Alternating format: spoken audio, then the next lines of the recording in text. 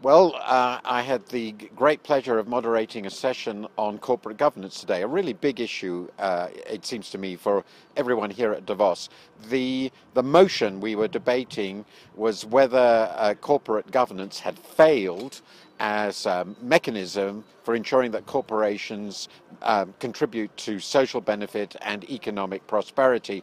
We had two, two votes uh, on this, one at the beginning one at the end. At the beginning, no fewer than 70% of the participants thought that corporate governance under shareholder maximization, uh, uh, shareholder value maximization had failed. 70%. I thought that was absolutely astonishing. Then we had a vigorous debate, and at the end of the debate, only 55% thought that shareholder value maximization had failed. So we could say that the people against the motion, the people in favor of shareholder value maximization, had sort of won the debate in the sense that they shifted opinion away from the extremely negative starting point.